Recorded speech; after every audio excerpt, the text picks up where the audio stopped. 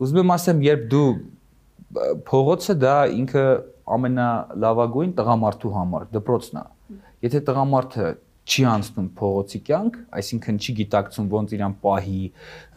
ոնց իրավիճակից դուրս գա։ Հետագայում շատ դժվար է տղամարդու համար դաստիարակել տղա երեխա, դաստիարակել լինել լավ ամուսին, որովհետև դա շատ մեծ դպրոց է, որը որ յուրաքանչյուր տղամարդու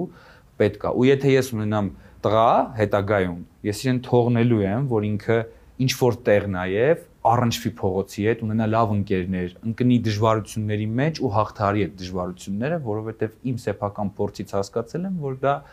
իրոք շատ է օգնում։ Հետագայում թե անգամ աշխատանքի մեջ